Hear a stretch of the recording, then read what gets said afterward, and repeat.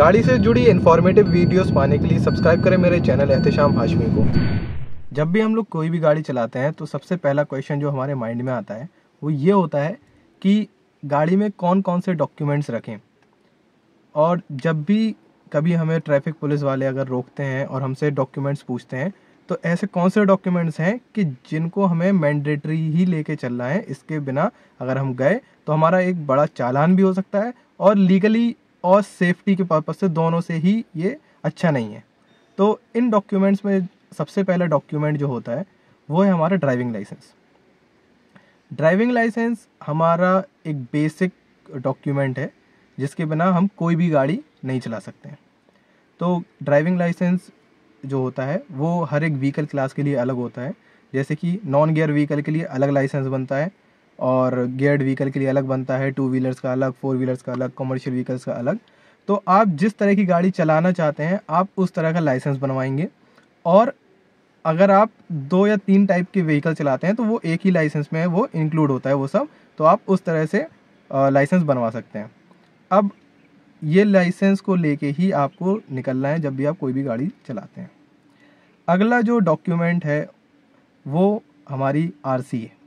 RC means registration certificate ये R C जो है, वो गाड़ी का डॉक्यूमेंट है। जिस तरह लाइसेंस आपका पर्सनल डॉक्यूमेंट था, इसी तरह गाड़ी का डॉक्यूमेंट है, जिसमें गाड़ी के डिटेल्स हैं, वो होता है आपका आर सी तो रजिस्ट्रेशन सर्टिफिकेट में आपकी गाड़ी का कलर गाड़ी का मेड गाड़ी का मैन्युफैक्चरर गाड़ी का type chassis number registration number ये सब चीज़ें इंक्लूड होती हैं, जिससे गाड़ी की पूरी डिटेल्स उस एक कार्ड में कवर हो जाती हैं।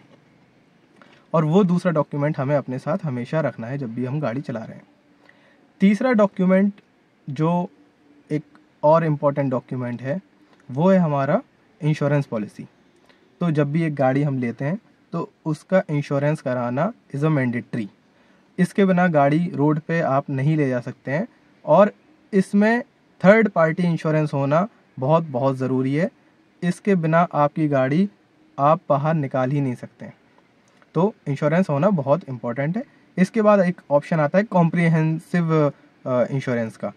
वो आप ले सकते हैं, उससे आपकी गाड़ी भी कवर हो जाती है बट ये मैंडेटरी नहीं है। Mandatory is the third party तो थर्ड पार्टी इंश्योरेंस आपके पास होना ही होना चाहिए।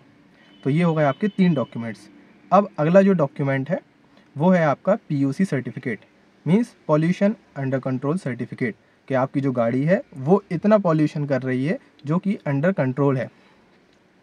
ये सर्टिफिकेट हर छः महीने में इनवैलिड हो जाता है। आपको इसे रीन्यू कराना होता है।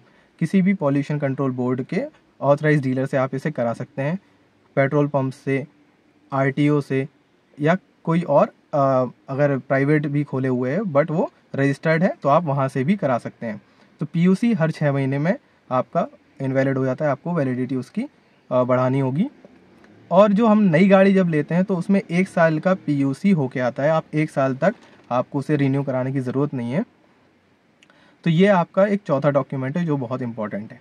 तो हमने चार डॉक्यूमेंट्स की बात की है, जिसके बिना हम अपनी गाड़ी नहीं चलाएँ, वो ही रिकमेंडेड है। तो पहला है ड्राइविंग लाइसेंस दूसरा है आरसी तीसरा है आपका मोटर इंश्योरेंस पॉलिसी और चौथा है पीयूसी सर्टिफिकेट अब अगर आपके पास ये चारों डॉक्यूमेंट्स हैं तो आप अपनी गाड़ी बेफिक्र होकर पूरे इंडिया में कहीं भी ले जा सकते हैं।